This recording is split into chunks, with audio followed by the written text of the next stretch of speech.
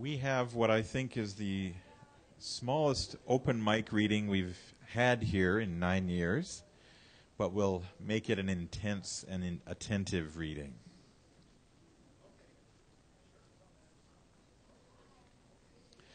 We have four people signed up, and I'll also read some poems. And uh, I, will I'll start us out with one poem of mine and read some later. Um, I, I came across this. This is actually written 12 years ago uh, when uh, the Gulf War, the Second Gulf War, was happening.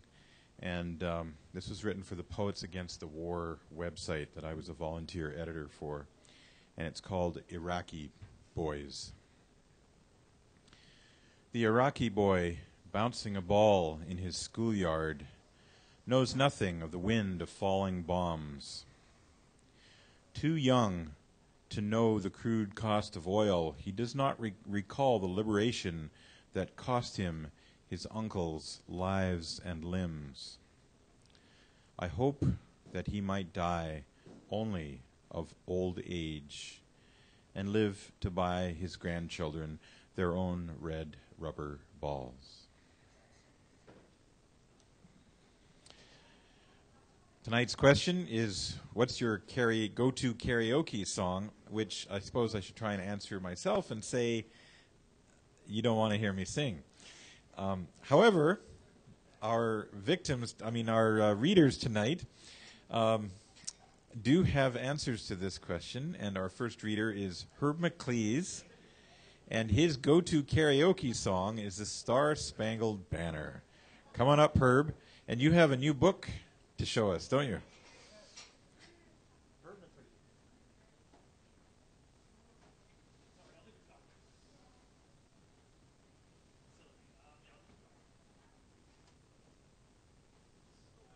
I'm convinced. I'm convinced the Lord loves a bad poet. Otherwise, I probably wouldn't be here.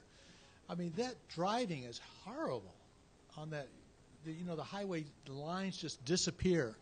And I came from all around 405, and oh, oy vey. Um,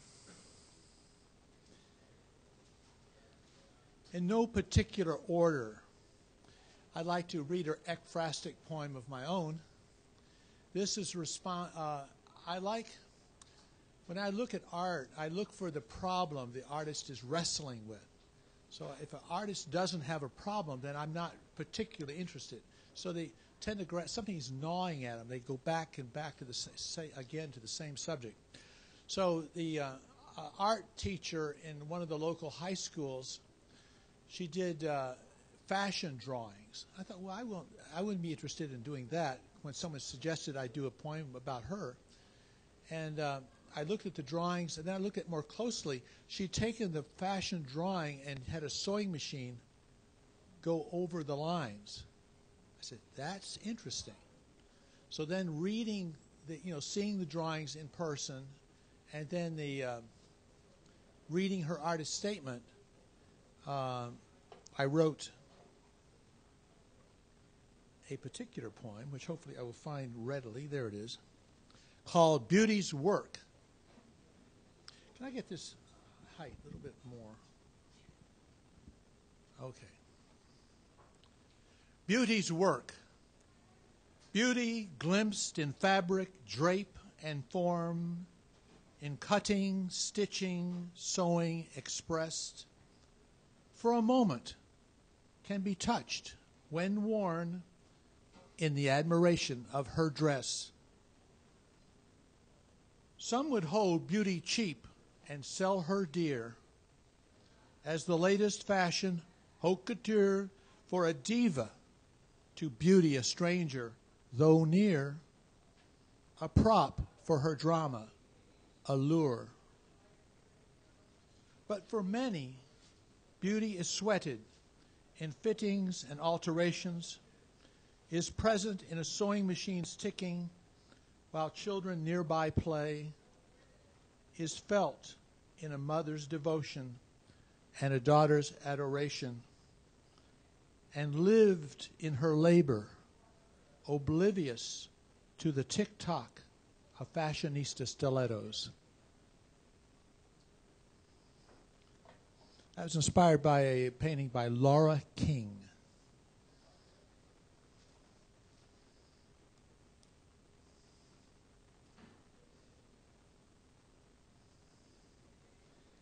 I'd like to read a, uh, a short one that will scare people because they say, my gosh, that's different from what he's been writing before.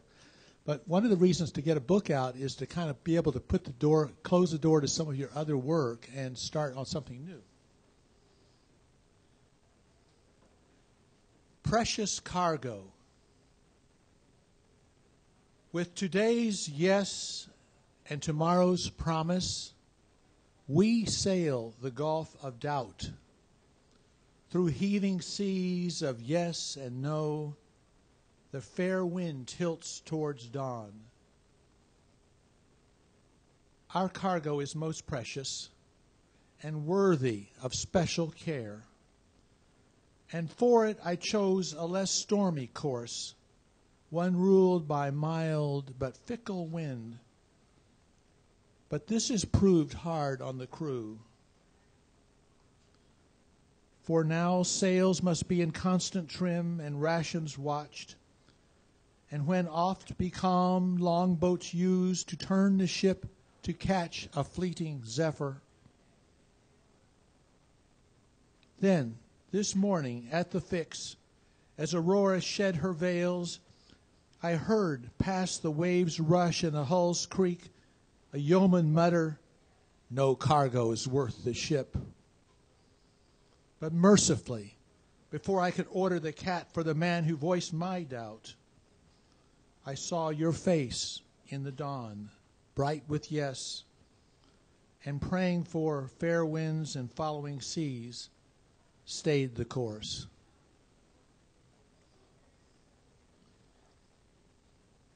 And then, if I may finish with a. Um,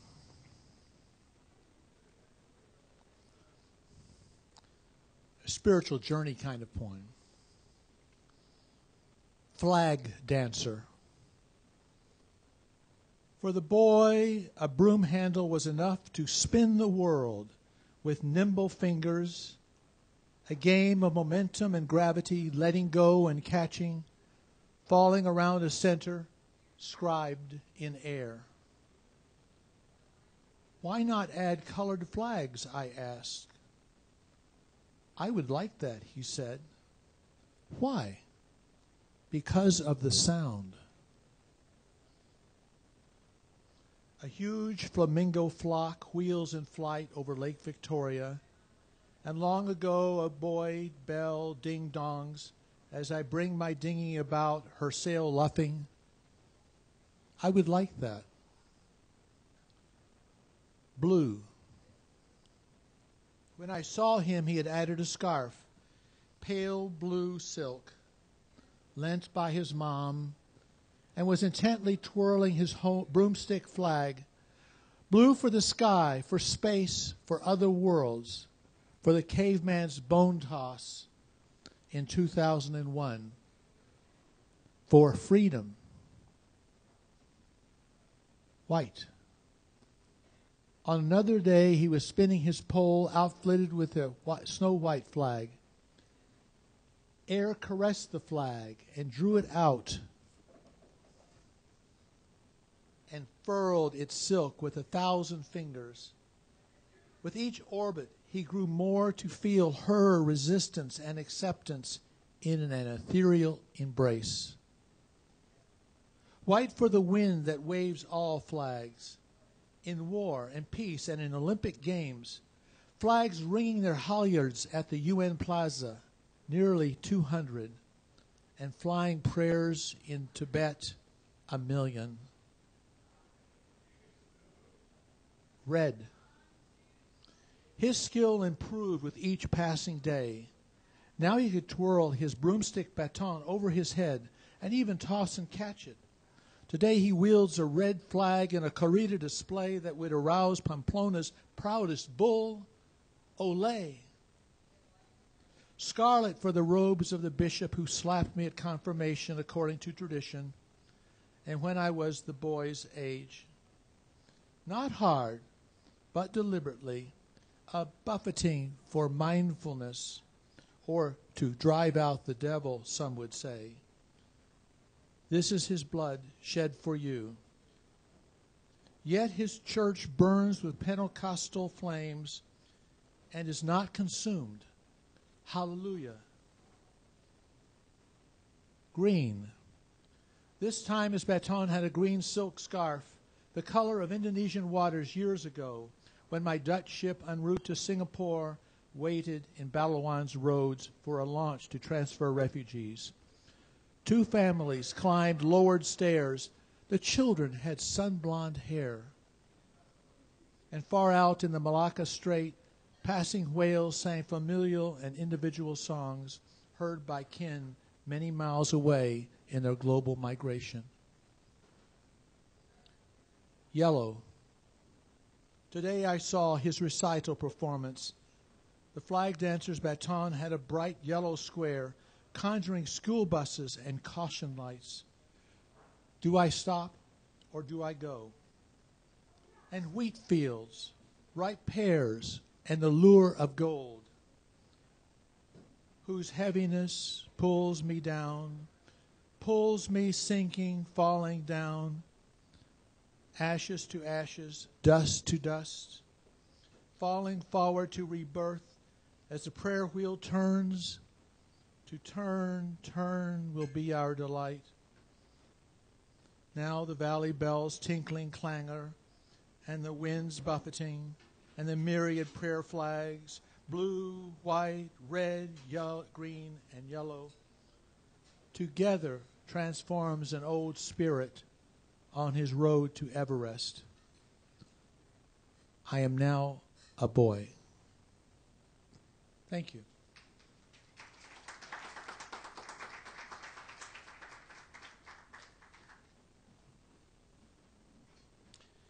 Thank you, Herb. Um, next time, make sure you add the word brine somewhere. the word brine. Maybe that's. Uh, oh, okay. The brine of the ancient mariner. I think we can tell a little bit about the generation um, uh, our readers are from by their go to karaoke songs. Johan is our next reader, and his uh, song is Wind Cries Mary. Johan, come on up. He's coming.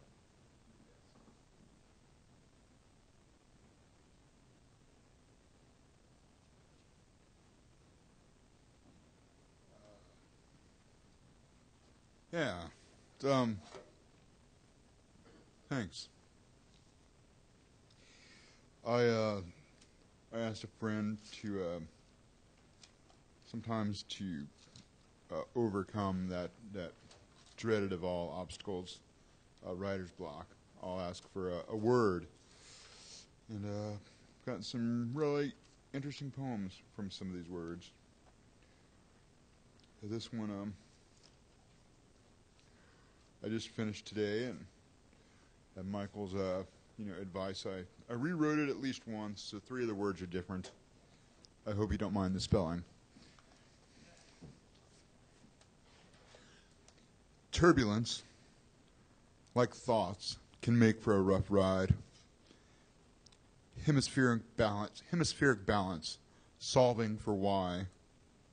Cold fronts or bold ideas pushing against the engine of thought. Warm fronts or wimpy ideas can cause lack of focus. Under certain lights, bold is cold, warm, and wimpy all rolled into one pint of Ben and Jerry's. It's not all a blacklight trap. Some synapses shriek back, referring, of course, to that trick of logic and light we know as smoke and mirrors.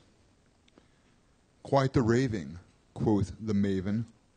Usually these, these thoughts are kept for much, much later. Oh, there's a time limit on thought? Can these directions be brought under control? Is there a cat piloting my soul?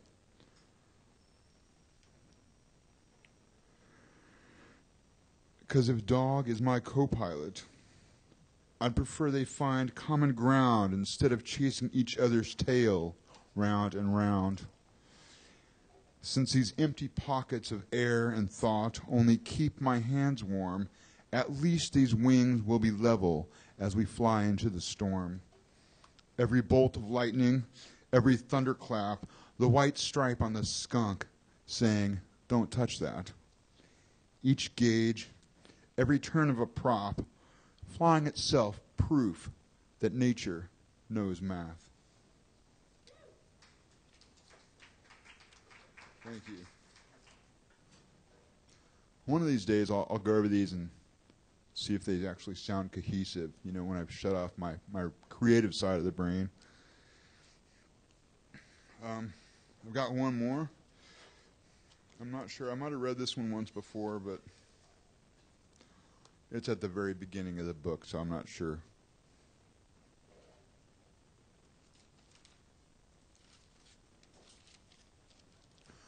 Looking for the uh, legible version.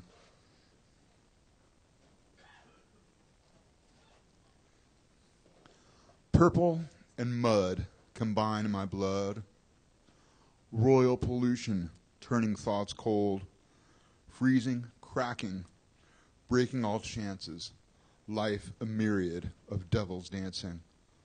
Foxtrot, two step, Tennessee waltz. Tomorrow's steps emerge from last night's fog. Dreams and visions colliding like atoms. Clarity vanished focus is scattered. Yet, of all the gifts I've wasted, your love is most disgraceful. If I must, if I must, if I must let you go, I'll have the strength only because you've made my heart whole.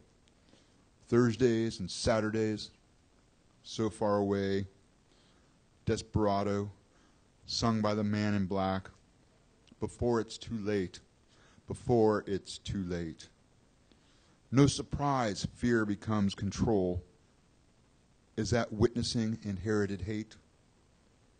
Emotions warped, not by fate. My heart growing stronger within your embrace. Thank you.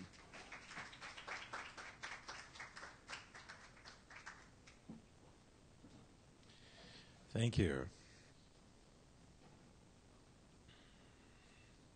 This is another older poem of mine. Uh, digging these out because I was sorting through a bunch of poems, and I thought, well, I haven't read this one myself for a long time. Uh, this was written actually just before, a few months before September 11, and uh, it seemed to gain something after the event. It's called The Gloved Hand. They don't know whose it is, but there's a hand on the table. It is not small or big. It is a left hand, palm up, with a long lifeline, and has an untanned circle around the ring finger. Little flaps of red flesh make the ends of the ulna and radius seem whiter than they really are. It is dry but still pink, and blood no longer leaks from the wrist. One of the carners makes the middle finger twitch by pulling a white tendon at the wrist till it snaps from his gloved fingertips. They don't know whose hand it is, but now they have four fingerprints and half of the firefighter's thumbprint.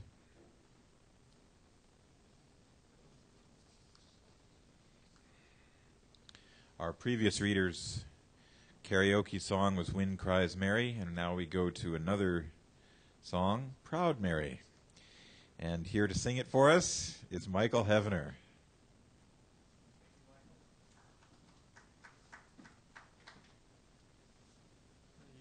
wouldn't dare make me sing that. I only do that in the shower in the car. Uh, when I came down here, I was thinking about a conversation that my son and I have been having about what happens in the future, whether things with cords and microprocessors will eventually link together and form some sort of master brain that takes over and ruins the earth. And I have been thinking in less apocalyptic terms, and as you were reading it, I it suddenly all gelled for me. So uh, I'm going to take this one home and read it to him after you hear it. Who will survive me? Google, do you know who my children will be? Will they be flesh and breath, worms and earth, bacteria begetting toads, begetting apes, begetting me to be myself? But are my children really my progeny, or merely a form of history? And after them, what comes next? What indelible life will leave its tracks in the mud and dust of time? They say that man is the highest form of life that will ever exist. And I say, how can that be? We must have some higher reason to live and love and pray and die. Are my children doomed to be father, mother, womb, and seed to a race of thinking apes? Perhaps those things they have, the toys of technology that link through brick and walls as if just air. Perhaps a million phones when chained in synapses of silicon, or circuits that talk and write and build autos of shiny steel. Why can't they be the legacy we leave to raise the earth out of our stink and slime? They know more than we, encyclopedic toys that spout the wisdom of the years, tiny things with eyes far better than the bravest wolf. Perhaps my children won't be toddlers I can teach in simple words to speak as men. Perhaps this will be my legacy. Cortana, sing me a song.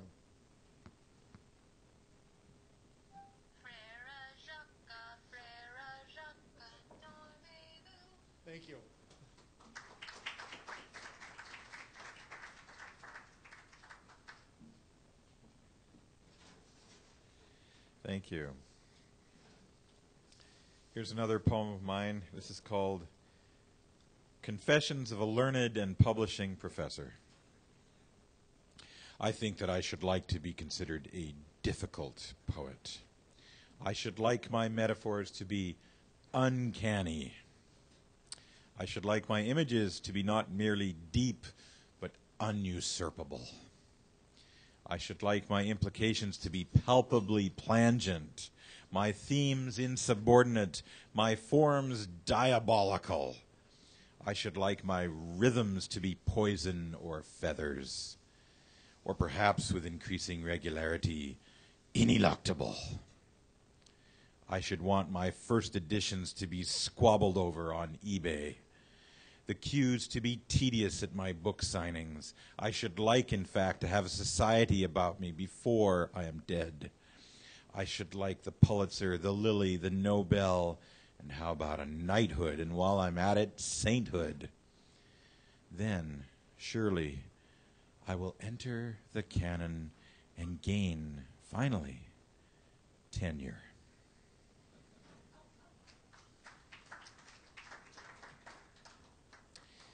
And to close us off tonight, Aaron, are you ready? Now, um, here's a generational thing here. Uh, his karaoke song is Cakes Going the Distance, which I'll have to look up on YouTube or something. Aaron.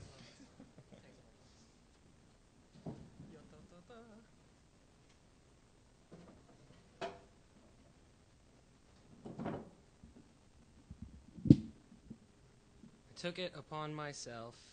Uh, every time I've been here for about three years and um, been to almost every single poetry open mic night in the three years that I've been here. So I finally took it upon myself. Every time this happens, as soon as Michael shows up, I start trying to write a poem. Um, doesn't matter whether it rhymes or what comes out. Just try to get words out and then see what happens. And I sat and I scribbled, and I've got proof that I was writing and writing and crossing things out and writing, and he kept saying haiku, and so the only thing I got was one haiku. I wanted to write a story about an old black crow and the fat house cat, and make it a beautiful metaphor for God and man and the search for truth and all that kind of stuff, and this is what I got. An old black crow perched. The old growth tree stands proudly. A fat house cat waits.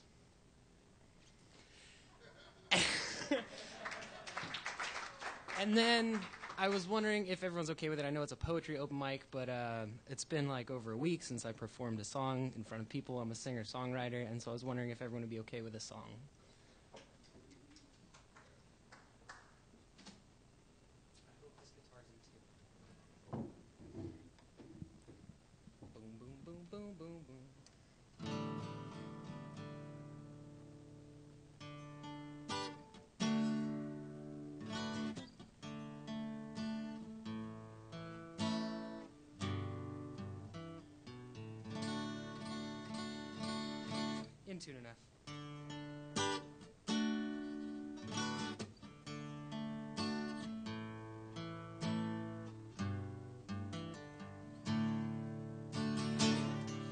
Can't say I wanted love. Won't say I needed love. But I'm gonna get that love. And I will not do it wrong. Living's mostly wasting time. I've wasted my share of mine. It don't never feel too good. So let's not take too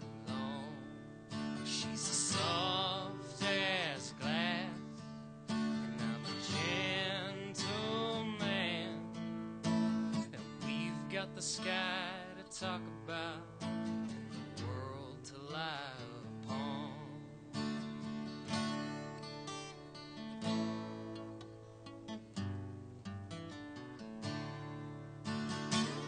Days up and down they come like rain on a conga drum. Forget most, remember some.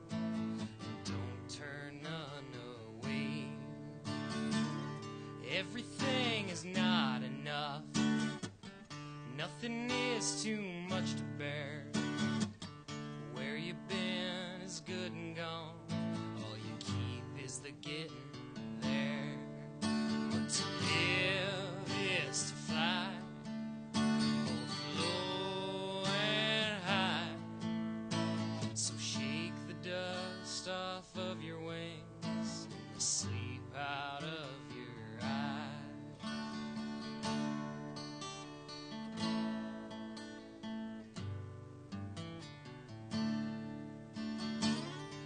Goodbye to all my friends. Cause it's time to go again. Here's to all the poetry and the picking down the line. I'll miss the system here. Bottom's low and the trouble's clear.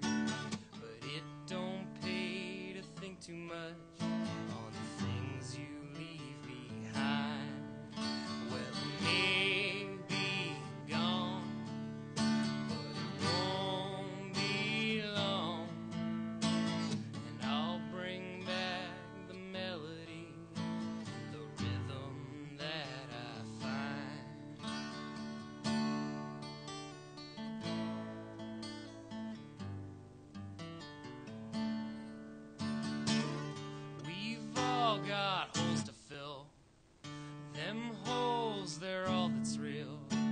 Some fall on you like a storm. Sometimes you dig your own. But the choice, it's yours to make.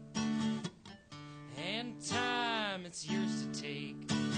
Some dive into the sea. Some toil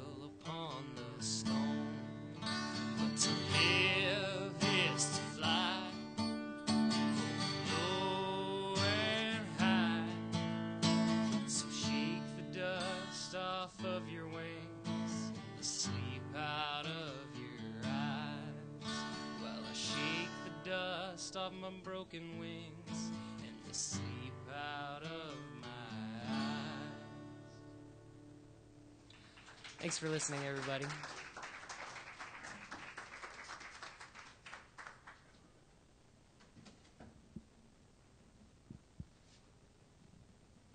Thank you very much, Aaron. Here's to all the poetry.